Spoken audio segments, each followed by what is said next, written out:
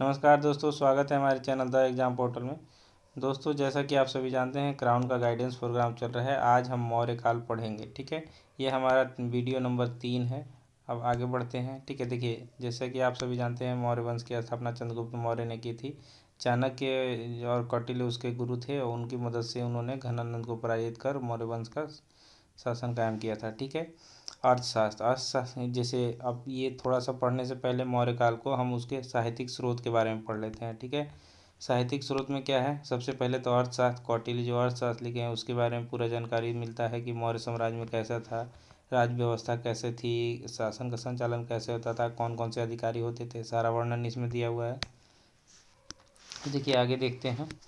कौटिल्य ने राज्य के सात अंगों का वर्णन किया है, ठीक है, जिसमें क्या है? सात अंग में कौन कौन से स्वामी मतलब राजा, अमात्य मतलब मंत्री, मित्र, सेना, कोष, दुर्ग, जनपद। ठीक है? ये सभी का वर्णन किया है उन्होंने। आगे बढ़ते हैं। देखिए, एक और इम्पोर्टेंट चीज़ है, ये मुद्रा राक्षस जो पुस्तक है इसको आप याद कर लीजिए, विशाख दत्त ने लिखा था। इसका लेखक का भी नाम याद रखना है, क्योंकि ये मौर्य वंश के उत्थान के बारे में जानकारी देता है। इंडिका जो मेगास्थनी लिखा था, उस, वो भी एक इम्पोर्टेंट पुस्तक है, जस्टिन यूनानी लेखक है, चंद्रगुप्त मौर्य के के बारे में ये लिखता है कि उन्होंने पूरे भारत पर विजय प्राप्त की थी, ठीक है? दीपवंश महावंश सिहली साहित्य है ये श्रीलंका से रिलेटेड है, ठीक है? मतलब इसका संकलन जो है श्रीलंका में हुआ था, ठीक है? अब देखिए, जूनागढ़ अभिलेख जूनागढ़ अभिलेख इसलिए इम्पोर्टेंट है क्योंकि जून, रुद्र दामन के जूनागढ़ अभिलेख में चंद्रगुप्त मौर्य के नाम का उल्लेख मिलता है, ठीक है? और इसमें मौर्य काल में निर्मित सुदर्शन झील की जानकारी मिलती है। झील का निर्माण चंद्रगुप्त मौर्य के शासनकाल में पुष्पगुप्त वैसे नामक गुजरात के सौराष्ट्र प्रांत में सिंचाई व्यवस्था के लिए करवाया गया था, ठीक है? इससे रिलेटेड एक चीज़ मैं और बता देता हूँ, इसका ना मरम्मत मरम्मत विभिन्न कालों में हुआ है। जैसे मौर्य काल में ये बना, मौर्य काल में बना तो मौर्य के आगे फिर गुप्त में इसका मरम्मत हुआ। ठीक है? तो ये मरम्मत इसका हुआ है तो ऐसे आगे आगे चलते चलते ये जो झील है वो बहुत फ़ेमस है फिर आगे भी ये इतिहास में आएगा। ठीक है? इसलिए ये जूनागढ़ अभिलेख आप लोग याद कर लीजिए ठीक है? अब आगे बढ़ते हैं। देखिए अशोक का अभिलेख जो है वो भी इतिहास का एक महत्वपूर्ण स्रोत है तो इसके बारे में भी पढ़ लेंगे ठीक है? और चूँकि हमारे बिहार में ती, तीन अभिलेख वो तीन शिलालेख हैं तो हमारा बिहार इससे इम्पोर्टेंट है चूँकि पाटलिपुत्रा में इसकी राजधानी ही थी तो मौर्य वंश हमारे बिहार के लिए भी इम्पोर्टेंट है और हमारे लिए जो हिस्ट्री वाला प्राचीन भारत का सेक्शन है, उसमें भी इम्पोर्टेंट है, ठीक है? आप देखिए, अशोक के अभिलेख हैं, ब्राह्मणी में मिलते हैं, खरोष्टी में मिलते हैं, अरमाइक में मिलते हैं, ग्रीक में मिलते हैं, ठीक है? ग्रीक मतलब यूनानी होता है, ठीक है? और अरमाइक जो होता है, जैसे जब यूनानी भाषा आया, वहाँ, हमारे मतलब देश में जो हमारा पश्चिमोत्तर प्रांत है, जिसमें पाकिस्तान, पंजाब वगैरह है, वहाँ पे ना ये स्थानीय भाषा से मिल गया और अब माइक बना, ठीक है? देखिए हमने वहाँ पीछे पढ़ा था कि ब्राह्मणी लिपि ब से ब्राह्मणी होता है, ब से बाएँ से दाएँ होता है खरोष्टी जस्ट इसका उल्टा होता है, ठीक है? अब देखिए अशोक के शिलालेख में सर्वाधिक जो अभिलेख हैं वो प्राकृत भाषा में लिखे गए हैं, ठीक है? अशोकों के अभिलेखों में उत्कीर्ण ब्राह्मणी लिपि को सर्वप्रथम जेम्स प्रिंसिप ने पढ़ा था। मैंने एक कहानी भी सुनाया था कि कैसे उनके नौकर ने उनकी मदद की थी। पढ़ने में, ठीक है? अब देखिए, अशोक के शिलालेख के बारे में बताया गया है। जो मैं जो टिक लगाया हूँ, उसको आप लोग याद कर लीजिएगा, ठीक है? मतलब पहला, तीसरा, पाँचवा, सात, आठवां, ठीक है? तेरहवां। आगे बढ़ते हैं। अब देखिए, आगे आते हैं। बिहार में तीन स्तंभ हैं। कौन स्तंभ लेख हैं? वो चंद्रगुप्त माफ़ कीजिएगा, अशोक के, ठीक है? तो उसको आप लोग याद कर लीजिए चौदहवां भी याद करना है, इसको भी आप लोग याद कर लीजिएगा, ठीक है? स्तंभ लेख टोटल संख्या है सात, रामपुरवा, लौरिया, नंदगढ़ और लौरिया राज्य ये तीनों जो है बिहार में है, ठीक है? ये तीनों बिहार में हैं तो इसलिए ये इम्पोर्टेंट है, याद रखिएगा, ठीक है? अब आगे बढ़ते हैं। अशोक का जो उत्तरी पश्चिमी शिलालेख मतलब पाकिस्तान अफ़गानिस्तान साइड में, वो यहाँ लिस्ट दिया हुआ है, उसको आप तीनों को याद कर लीजिएगा, ठीक है? अशोक के लघु शिलालेख इसमें दो चीज़ याद रखना है। एक राजस्थान वाला, एक बिहार वाला। राजस्थान वाला भी इसलिए याद रखना है क्योंकि इसमें अशोक के बारे में कुछ लिखा गया है, ठीक है? तो इसलिए उसको याद रखना है। अब आगे बढ़ते हैं। अब देखिए। यहाँ पे मौर्य की उत्पत्ति। मौर्य की उत्पत्ति विवादित है और इसका कोई स्पष्ट प्रमाण नहीं मिलता है। बहुत सारे बौद्ध ग्रंथ, बौद्ध ग्रंथों में उनको क्षत्रिय कहा गया। ब्राह्मण परंपरा में शूद्र कहा गया। और जो परिशिष्ट परवन जो जैन ग्रंथ है, देखिए ये जैन लिखा है ना मैंने, ये जैन ग्रंथ है, ठीक है, परिशिष्ट परवन तो इसमें मोर पालक का पुत्र बताया गया, मुद्रा राक्षस में शूद्र से उत्पन्न बताया गया, राजपुताना गजेटियर में राजपूत बताया गया, ठीक है? अब देखिए, एक चीज़ और, राजनीतिक इतिहास, देखिए चंद्रगुप्त मौर्य के समय शासन कैसे चलता था, ये बताया गया है, ठीक है? जैसे मैंने आपको बताया था कि राजा की संकल्पना का विकास उत्तर भारत में जब उत्तर वैदिक काल हुआ था, उस समय से शुरू हो गया था, ठीक है? मौर्य काल आते आते एकदम राजा की जो स्थिति थी, वो सुदृढ़ हो गई थी। अब देखिए, चंद्रगुप्त मौर्य के बारे में दिया यह एक सौ इकसठ शासक था सारे अधिकार अपने हाथों में रखे हुए थे, ठीक है? और उसके आगे जो ये सब पॉइंट जो मैंने टिक लगाया है, इसको आप पढ़ लेना, ठीक है? इसको याद करना है। आगे बढ़ते हैं। अब देखिए ये मैंने लिखा है ना भारभू अभिलेख, राजस्थान, जयपुर। एक क्वेश्चन आया था कि भारभू अभिलेख कहाँ है? तो उससे हम ने बताया था कि आप स्टेट का नाम ज़रूर याद रखिए। कोई अभिलेख अगर इम्पोर्टेंट है तो उससे रिलेटेड स्टेट का नाम हम याद रखेंगे, ठीक है? अब देखिए, अशोक के नाम कहाँ पे कौन से अभिलेख में क्या क्या मिला है, वो लिखा गया है, ठीक है? तो इसको थोड़ा हम लोग ध्यान में रखेंगे, ठीक? ये वाला पॉइंट अब इधर देख लीजिए, ये का, चाणक्य कौटिल्य के बारे में है, इसको थोड़ा पढ़ लीजिएगा आप लोग, ठीक है? बिंदुसार इसको अमित्र घात भी कहा जाता है, इसलिए इसका नाम याद रखना है, ठीक है? अब देखिए आजीवक संप्रदाय का अनुयायी था, उसके बाद ये लिखा गया, देखिए ए डी एम क्या है पता है? ए से एंटीओकस होता है डी से डाई डी एम से होता है डाइमेकस ठीक है? तो मतलब एंटीओकस का दूध था डाई डाइमेकस ठीक है? ये कौन था? ये मेगास्थनीज का उत्तराधिकारी था। जब मेगास्थनीज चला गया तो उसके बदले में ये आया था, ठीक है? अब देखिए, टॉलमी। टी से टॉलमी होता है D N S. T N S मतलब डाइनोसियस, ठीक है? कंफ्यूज नहीं करना है, इसलिए इसको ऐसे मैंने लिखा है, ठीक? तो इसको भी आप लोग याद कर लीजिएगा। अब आगे बढ़ते हैं। देखिए, ये सब पढ़ लेना है पॉइंट। अब यहाँ पे एक चीज़ ध्यान रखना है। देखिए, अशोक कब आया और कब तक रहा? तो तिहत्तर बत्तीस ईसा पूर्व है, ये आप याद रखिएगा मतलब बीसी। ठीक है? अशोक ठीक है? आगे बढ़ते हैं। ये वाला जो मैंने बताया था अशोक के अन्य नाम ये याद कर लेना है। एक क्वेश्चन पूछा ही था कि प्रियदर्शी हम्म, जो प्रियदर्शी का उल्लेख किस आ, मतलब किस अभिलेख में है ठीक है? तो ये वाला थोड़ा फैक्ट याद रखिएगा। ये वाला जो मैंने टिक लगाया है ये थोड़ा थोड़ा इम्पोर्टेंट है इसको भी आप याद रखिए। देखिए ये वाला क्वेश्चन पूछा था बिहार दरोगा में। ठीक है? अशोक अशोक के अभिलेखों में उसे देवानाम प्रिय देवताओं का प्रिय या प्रियदर्शी कहा गया। किसमें कहा गया? भारभू भारभू अभिलेख कहाँ है? राजस्थान में। ठीक है? तो इसको थोड़ा सा ध्यान रखना है। आगे बढ़ते हैं। अब देखिए, ये कलिंग का युद्ध बहुत इंपॉर्टेंट है। इसके बाद इन जो अशोक था, उसका दिल बदल गया था और उन्होंने युद्ध वगैरह की नीति त्याग दी। अहिंसा के मार्ग पे चलना प्रारंभ किया। देखिए ये अशोक कौन कौन गुफा बनाया है, मैंने लिख दिया है, ठीक है? कर्ण, चौपर, सुदामा विश्व झोपड़ी, चार को गुफा बनाया था, ठीक है? ये विश्व झोपड़ी बराबर की पहाड़ी में है, ठीक है? अब देखिए, अशोक का धम जो अशोक का धम था मतलब ये बौद्ध धर्म वाला धम ही था, लेकिन थोड़ा सा बदला हुआ रूप था तो उसके, वो कैसा था अशोक का धम उसके बारे में बताया गया, उसको थोड़ा सा पढ़ना है हम लोग को, ठीक है? आगे बढ़ते हैं। देखिए, अशोक का उत्तराधिकारी कुणाल था, ये याद रखना है, ठीक है? कभी कभी पूछता है कि अशोक के बाद कौन राजा बना? तो कुणाल बना था, ठीक है? अब देखिए, ये दशरथ था, राजा बना था, कुछ नहीं था, बस थोड़ा सा था ये भी देवानंप्रिय की उपाधि ग्रहण किया था बृहदत्त इसका अंतिम शासक था, मैंने बताया था ना कि प्रथम और अंतिम मौर्य शासक याद रखना है, या किसी वंश का प्रथम और अंतिम से याद रखना है तो इसको याद रखना है, ठीक है? अब देखिए, प्रशासन में थोड़ा बहुत पढ़ना है, जो मैंने टिक लगाया है, उसको पढ़िएगा आप। ठीक है तीर्थ या महापात्र इसमें बहुत सारा जो अधिकारी है वो है, लेकिन सबका नहीं याद करना। है इसमें ये वाला याद करना है आपको, ठीक है? देखिए, मैं बता दे रहा हूँ कौन कौन सा याद करना है। आप उसी को याद कीजिएगा, ठीक है? ये वाला आप तीनों याद कर लेना, ठीक है? अब देखिए, कंठ शोधन क्या था? धर्मस्थीय क्या था? ये फौजदारी था और यह धर्मस्थीय दीवानी था, ठीक है? तो दीवानी मतलब क्या होता है? वो रुपया पैसे से रिलेटेड मामला जैसे किसी का कोई ज़मीन हड़प लिया या किसी के, उसके साथ कोई बेईमानी कर लिया, उसका दीवानी में होता है और फौजदारी में क्या होता है? हत्या हत्या वगैरह का जो मामला होता है, वो फौजदारी में देखा जाता है, ठीक है? अब देखिए, इसमें बहुत सारे अधिकारी का नाम दिया गया है तो जो मैंने टिक लगाया है, उसको आप थोड़ा सा ध्यान रखिएगा, ठीक है? अब ये सब पढ़ लेना है। अब आगे चलिए, ये समिति, मेगा स्तनिज बताया था कि नगर का प्रशासन चलने के लिए छः गो समिति है, ठीक है? और प्रत्येक में पाँच पाँच गो मेंबर है तो यानी छः गुने पाँच मतलब तीस टोटल तीस हैं, ठीक है? तो इसको आप लोगों को ध्यान रखना है। और ये समिति के बारे में बताया तो ये कोई ज़रूरी नहीं है, इसको नहीं भी याद रख सकते हैं, कोई बात नहीं है। बस, अब ये सेना वगैरह के बारे में बताया कि ये बस थोड़ा सा सिर्फ़ ये वाला पॉइंट याद रखिएगा मेगास्थनीज वाला, बाकी इसमें इम्पोर्टेंट नहीं है। आगे बढ़ते हैं। देखिए, सेना का भी छः गो समिति था, इसमें भी पाँच पाँच गो मेंबर था छः पच्चीस तीस गो। तो ये भी इम्पोर्टेंट नहीं है, बस ऐसे आप ध्यान लगे क्योंकि इसका कोई क्रम तो दिया हुआ है नहीं।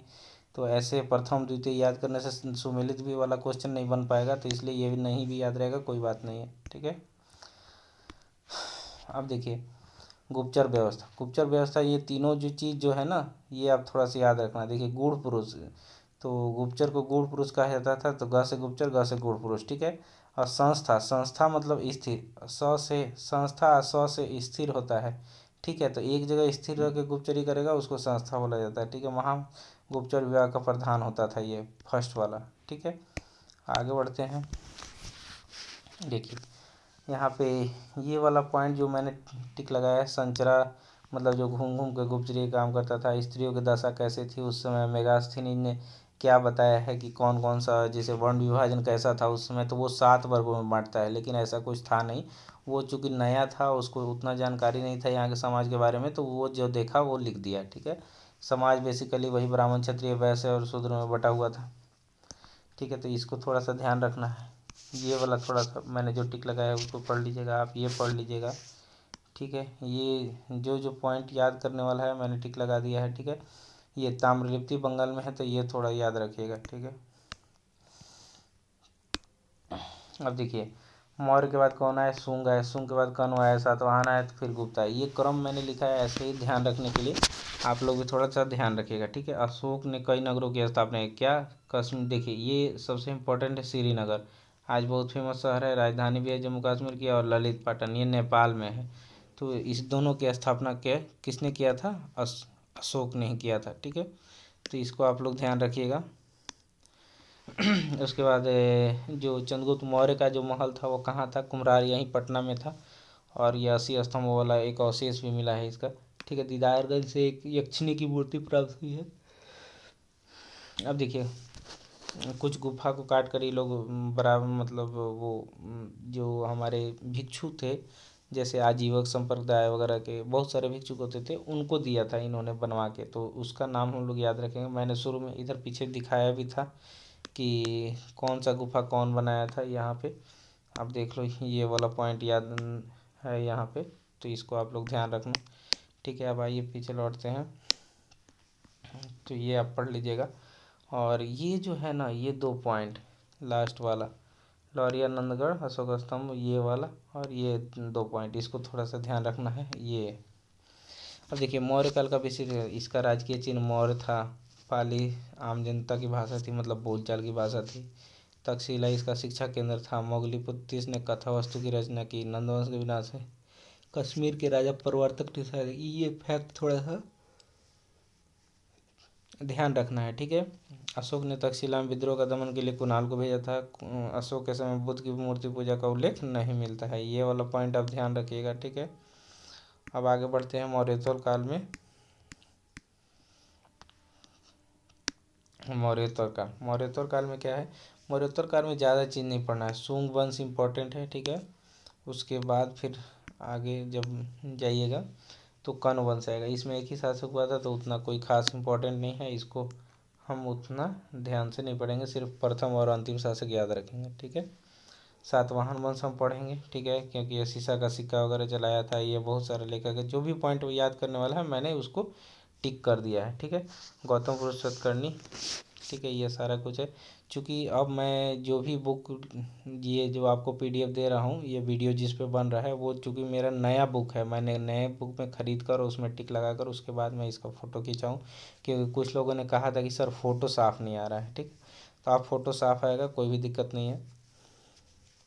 देखिए, इसमें जो जो राजा है, कोई राजा उतना इम्पोर्टेंट नहीं है। एक राजा इम्पोर्टेंट हाल, ये इसको थोड़ा सा याद रखिएगा, गौतम पुत्र सतकर्णी, ये याद रखिएगा।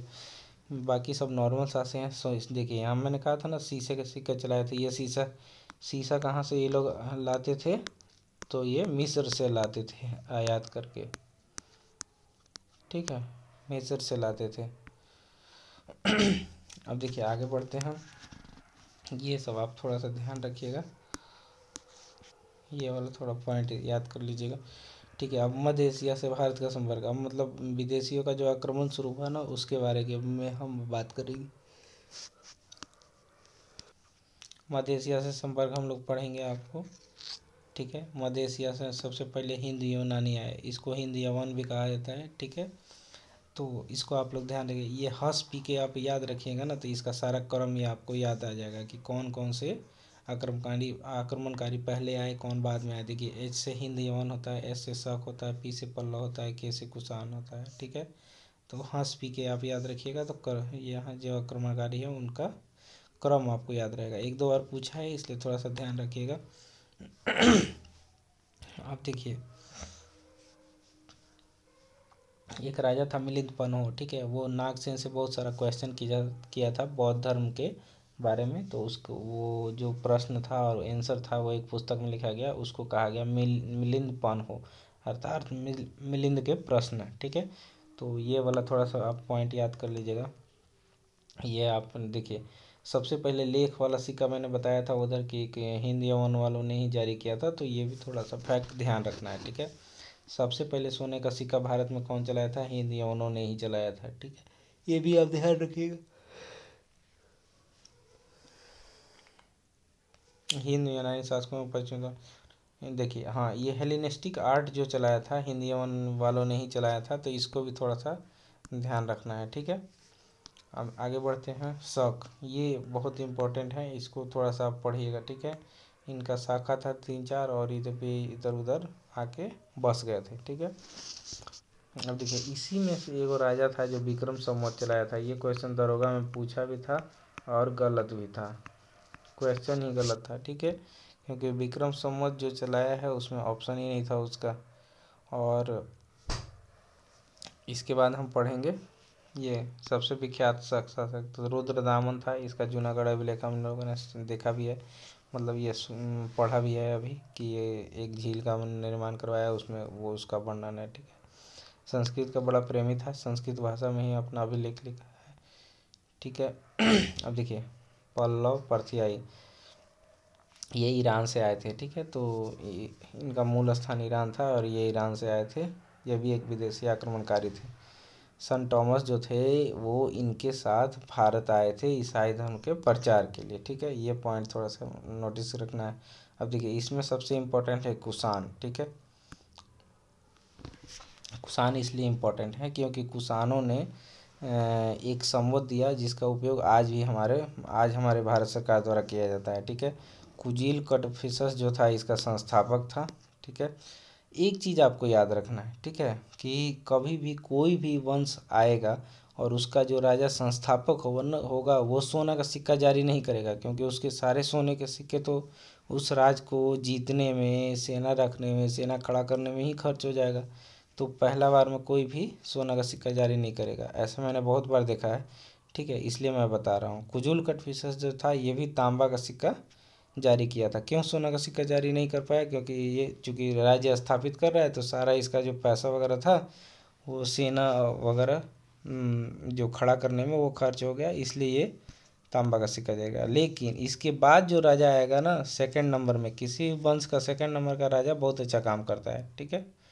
आगे बढ़ते हैं।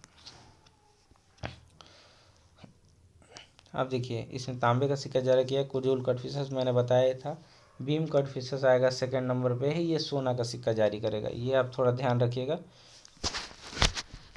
देखिए बी जी इसलिए लिखे हैं कि भीम कट फिशस और जी से गोल्ड होता है। अब देखिए, कनिष्क, इसका सबसे इम्पोर्टेंट राजा था कनिष्क, ठीक है? इसमें शक समझ जो चलाया था, वो भारत सरकार आज भी यूज़ करती है। कब से यूज़ कर रही है? उन्नीस सौ सत्तावन से यूज़ कर रही है। हाँ देखिए ये जो कनिष्क था ना, इसका दो गो राजधानी था। एक पुरुषपुर पेशावर में था, दूसरा मथुरा में था, ठीक है। और ये कनिष्क जो महायान का समर्थक था और बौद्ध धर्म का संपोषक था, चौथी चौथी बौद्ध संगति जो है, कनिष्क के काल में ही हुई थी। ये सारा पुस्तक है, इसका थोड़ा नाम आप लोग ध्यान रखिएगा, ठीक है। इधर जितना भी दिया हुआ है, ये सारा पढ़ लेना है। जो पॉइंट पढ़ना है, मैंने टिक लगा दिया लगभग इसमें सारा पॉइंट पढ़ना है, ठीक है? बहुत टाइम लगता है इसको टिक वगैरह लगाने में तो इसलिए आप लोग थोड़ा ध्यान से पढ़िए। जो भी स्टूडेंट सीरियस हैं, अगर अच्छे से पढ़ेंगे तो उनका पक्का अच्छा नंबर आने वाला है। आप लोग थोड़ा सा मेहनत कीजिए, थोड़ा सा टाइम तो लग रहा है इसमें, लेकिन मैं भी अपना टाइम निकाल के इसको कर रहा हूँ, क्योंकि फ़िज़िकल से आने के बाद मैं बहुत थक जाता हूँ। तो थोड़ा सा टाइम तो निकालना ही पड़ता है। फिर भी मैं कोशिश कर रहा हूँ कि पर डे आपके लिए वीडियो लाऊं। अब देखिए, ये शून्यवाद दिए थे कौन? ये नागार्जुन, ठीक है? इनको भारत का आइंस्टाइन भी कहा जाता है। ये आप ध्यान रखिएगा। अब हम लोग आइए, थोड़ा गुप्त साम्राज्य को देख लेते हैं। देखिए, गुप्त साम्राज्य कुछ नहीं था, ठीक है? जब मौर्य साम्राज्य पतन हुआ तो मौर्योत्तर काल आया। मतलब मौर्य साम्राज्य के खंडहर पे बहुत सारे राजा आए और बहुत सारे वंश अपना शासन कायम किए, ठीक है? उसके बाद तब भी फिर जो मौर्य साम्राज्य का जो बड़ा सा साम्राज्य था, वो बिखर गया था और बहुत सारे टुकड़ों में बट गया था। लेकिन जब गुप्त आए तो गुप्त ने उसको संगठित किया और फिर से उस साम्राज्य को एक एकीकृत किया। ठीक है? अब देखिए, इसमें क्या करना है? इसका स्थापना कौन किया था, ये थोड़ा सा ध्यान रखेंगे। चंद्रगुप्त मौर्य प्रथम। इसमें एक राजा था इम्पोर्टेंट ये थोड़ा सा ध्यान रखेंगे। क्यों मैं बताता हूँ? क्योंकि गुप्त संवत ये चलाएगा। आगे बढ़ते हैं। देखिए, बताता हूँ मैं आपको, गुप्त संवत चलाएगा। और ये लिच्छवी की राजकुमारी से विवाह किया तो इसको थोड़ा सा दहेज में वो लिच्छवी मिला और उस, उसकी सत्ता भी मतलब को भी थोड़ा सा बल मिला। अब देखिए, ये बताया था ना मैंने कि गुप्त संवत चलाएगा तो चंद्रगुप्त प्रथम ने गुप्त संवत चलाया। यही क्वेश्चन आया था अभी पीएसएससी और वो गलत था। ठीक है? गलत भी था क्वेश्चन अब देखिए समुद्रगुप्त समुद्रगुप्त सबसे प्रतापी राजा था इस वंश का, ठीक है? क्योंकि इसने बहुत से राज्यों को जीता और सबको मतलब जीत के एकीकृत किया, पूरे गुप्त साम्राज्य को बहुत दूर तक फैलाया। अब देखिए, इसके बारे में इसका जो सबसे फ़ेमस है, प्रयाग बसती है, मैंने बताया था कि इस अशोक का था, उस पर इसने अपने लेख लिखवाया, उसके बाद अकबर ने लिखवाया, जहांगीर ने भी लिखवाया, ठीक है? हरिसेन इसका वो मंत्री था जिसने ये सब लेख रचना की थी। और ये थोड़ा सा उपाधि वगैरह है, इसको ध्यान नहीं रखना है, मैं बताऊँगा कौन सा उपाधि पढ़ना है। ठीक है, आप इसको एक बार थ्रोली पढ़ लेना कि जैसे थोड़ा सा कि थोड़ा बहुत दिमाग में रहे। आप देखिए, आगे बढ़ते हैं। बिना बजाते हुए इसका वो मिला था, सिक्का तो आप समझ ही गए होंगे कि हो सकता है कि संगीत का शौकीन रहा हो। आप देखिए आर्यावत का नौ राजा को जीता, दिग्विजय का कार्य किया। और सब जो वन प्रदेश मतलब जंगल के, जंगल में जो जो, जिन राजाओं का क्षेत्र पड़ता था, उन सभी को जीतकर उनको परिचारक या सेवक बनाया ठीक है? स्कंदगुप्त का भीतरी अभिलेख ये स्कंदगुप्त इसी गुप्त वंश का एक राजा है, जिससे पता चलता है कि स्कंदगुप्त भीतरी अभिलेख से पता चलता है कि समुद्रगुप्त ने विजय से निर्वृत्त होकर अश्वमेघ यज्ञ किया था। ये क्वेश्चन पूछा भी था, ठीक है? अब देखिए एरन अभिलेख में समुद्र की पत्नी का नाम दिया गया है। ये सब जो पॉइंट मैंने टिक लगाया है, ये इसको थोड़ा सा आप पढ़ लेना। श्रीलंका के राजा में एक वज़न था समुद्रगुप्त से एक मंदिर बनवाने की अनुमति माँगता है और समुद्रगुप्त उसको दे देता है, ठीक है? अब देखिए, वहाँ जो सिक्का मिलता था जो गुप्त काल में, वो छह प्रकार का था। ये लिखा हुआ है, गरुड़ अश्वमेघ धनुर्धर व्याघ्रता परशु अविना समरण। बीना सारण। अब देखिए समुद्रगुप्त ने अश्वमेघ की पराक्रम की उपाधि धारण की। अभी पीछे मैंने पढ़ा भी था कि समुद्रगुप्त ने अश्वमेघ यज्ञ भी किया था। अब देखिए, इसका जो समुद्रगुप्त का, के बाद जो राजा हुआ, वो रामगुप्त। ठीक है?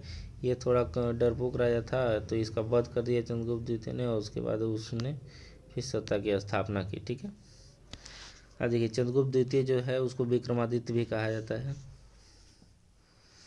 और इसके काल में गुप्त साम्राज्य बहुत ही उत्कर्ष पर पहुँचा और बहुत आगे फला फूला। देखिए, सांची के अभिलेख में देवराज और परवर सेन के अभिलेख में देव कहा गया है इसको, ठीक है? महरौली अभी जो स्तंभ लेख है मतलब जो देखिएगा, जब आप कुतुब मीनार जाइएगा तो वहाँ कैंपस में एक लोहा का स्तंभ लगा हुआ है। वही है ये स्तंभ चंद्रगुप्त द्वितीय वाला और उसकी खासियत है कि उसमें आज तक जंग नहीं लगा है। मतलब यानी कहने का अर्थ यह है कि उस समय की भी जो टेक्नोलॉजी वगैरह था, वो भी बहुत अच्छा था कि उन्होंने वो लोहे को इस तरीके से बनाया कि उसके, उसमें आज तक जंग नहीं लग रहा है। ठीक है, अब गुप्तकालीन शासन पद्धति, इसमें ज़्यादा कुछ नहीं पढ़ना है, बस थोड़ा बहुत है, आप पढ़ लीजिएगा, मैंने टिक लगाया है कि किसको याद रखना है। पेट मतलब ग्राम समूह या ग्राम इकाई को कहा जाता था, ये आप याद रखिए, ग्राम सभा। ठीक है, आगे बढ़ते हैं। हाँ गुप्त काल में समाज कैसा था, धर्म कैसा था, ये आप थोड़ा सा पढ़िएगा, ठीक है?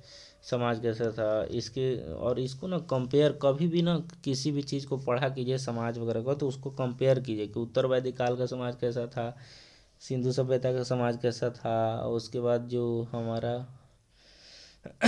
धार्मिक जीवन था, वो कैसा था, ये दोनों को कंपेयर कीजिएगा ना, तब चीज़ें आपस में दोनों कनेक्ट होंगी। अब देखिए, इसमें कुछ पदाधिकारी है, उसका आप लोग याद कर ले, जो मैंने याद करने वाला था, वो मैंने टिक लगा दिया है, ठीक है? अब आगे बढ़ते हैं। देखिए, एक बार थ्रोली पढ़ना है, जिसको मैंने टिक नहीं लगाया, उसको भी पढ़ना है, लेकिन जिसको टिक लगाया, उसको थोड़ा अच्छे से पढ़ना है, ठीक है? आगे बढ़ते हैं। अब देखिए, गुप्त काल में आर्थिक जीवन कैसा था? मतलब व्यापार, वाणिज्य की स्थिति क्या थी? इससे पता चलता है तो इसको आप पढ़ लीजिएगा।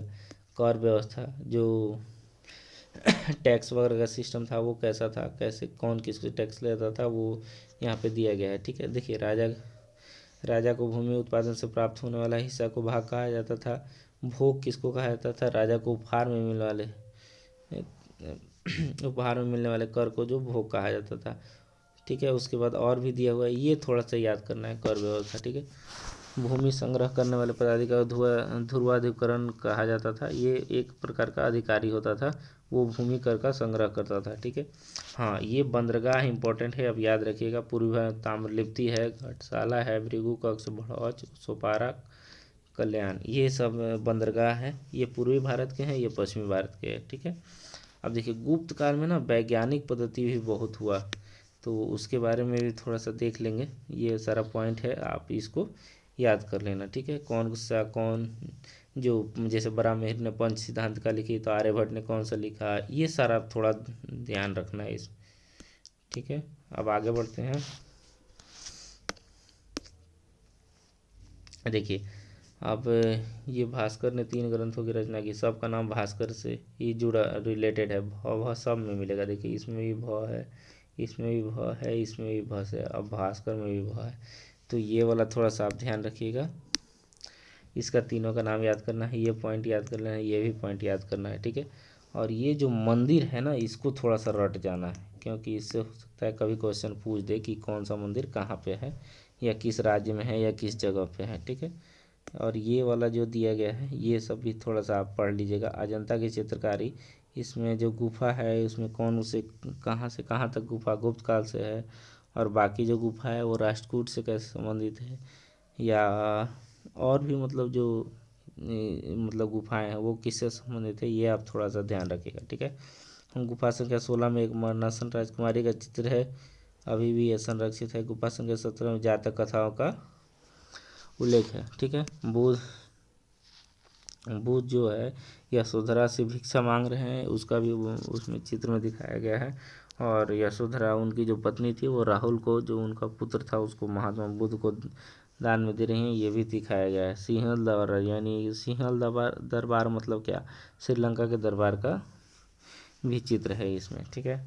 अब देखिए, ये गुफा बाघ गुफाएँ इसको थोड़ा सा ध्यान रखिएगा, इससे अभी क्वेश्चन नहीं पूछा है क्वेश्चन बन सकता है, ठीक है? अब देखिए, गुप्तकालीन साहित्य। इसमें थोड़ा सा हम पढ़ेंगे गुप्तकालीन साहित्य, क्योंकि ज़रूरी है, देखिए। उस समय कौन कौन सी पुस्तकें रचना हुई, इसका थोड़ा सा नाम याद रखेंगे। अब देखिए, ये वाला जो है, ये सबसे इम्पोर्टेंट है। देखिए, मैं बताता हूँ कौन कौन सा आप याद कर लीजिए। अब देखिए, इसमें ज़्यादा तो है नहीं, लेकिन नॉर्मल कालिदास वाला याद कर लीजिए भास्कर वाला ये याद कर लीजिए। विष्णु शर्मा पंचतंत्र का भी, पंचतंत्र कौन लिखा है, ये थोड़ा सा ध्यान रखना है बाणभट्ट का हस्तरित ये ध्यान रखना है। ये सब जो भी लेखक का है ना, ये थोड़ा याद देखिए मृत कटिकम मिट्टी का घड़ा होता है। एक बार क्वेश्चन पूछा था, कब बिहार एसएससी ग्रेजुएट लेवल में 2014 में जो वैकेंसी आया था, उसमें पूछा था कि मृत कचकम का हिंदी अर्थ क्या है और मेरा गलत हो गया था, ठीक है? मिट्टी का घड़ा इसका अर्थ होता है। अब चलिए, समाप्त हो गया ये गुप्त काल। इसमें आपको लोगों को काम क्या करना है? पहला नंबर, इसमें क्राउन पढ़ना है। ये क्राउन को पूरा दो बार पढ़ना है। ठीक है, जो भी ये दो तीन चैप्टर है, इसको पढ़िए, उसके बाद लूसेंट लूसेंट में लगा लीजिए इसका एमसीक्यू मतलब क्वेश्चन लगा लीजिए इस चैप्टर का। तीसरा काम करना है पॉइंटर पॉइंटर लेना है और ये जो चैप्टर है, इसमें तीनों, उसको भी, उसका भी एमसीक्यू लगा लेना है, ठीक है? और जिन, जिनका कल एनटीपीसी का एग्ज़ाम है या जो भी बच्चों का एग्ज़ाम है, उनको बेस्ट ऑफ़ लक दोस्तों, ऐसे ही हमारे वीडियो बने रहिए और आप लोग जी जान से मेहनत कीजिए। मुझे पक्का विश्वास है कि आपका रिज़ल्ट पक्का होगा। एक वीडियो मैं ज़रूर लाऊँगा जिसमें जिन बच्चों का पचहत्तर या सत्तर पर बार बार नंबर आके अटक जा रहा है या इससे नहीं बढ़ पा रहा है, अस्सी नहीं जा पा रहा है या पचहत्तर प्लस नहीं बढ़ पा रहा है, उसके लिए मैं स्पेशल वीडियो लाऊँगा कि कैसे आप लोग जो अपना स्कोर है अगर आपका पचहत्तर पे स्कोर स्टेबल हो गया है तो इसको कैसे आप अस्सी करिएगा? या मान लीजिए सेवेंटी नाइन पे स्टेबल हो गया है, इससे बढ़ ही नहीं रहा है स्कोर तो उसको कैसे आप एटी फाइव ले जाइएगा, ये मैं आपको एक वीडियो में बताऊँगा, ठीक है? अभी ये जो ट्रिक वगैरह है थोड़ा सा हम बाद में डिस्कस करेंगे, लेकिन जल्द ही मैं वीडियो बना दूँगा, हो सकता है कल भी बना दूँ या परसों बना दूँ। और एक चीज़ और, देखिए, एग्ज़ाम देना और पढ़ना, ये अलग अलग चीज़ होता है, एग्ज़ाम में क्वेश्चन बनाना और पढ़ के बहुत सारा बुक पढ़ना, ये अलग अलग चीज़ें हैं। आदमी कितना हो पढ़ लेगा एग्ज़ाम में क्वेश्चन नहीं बन रहा है तो उसका कोई फ़ायदा नहीं है, ठीक है?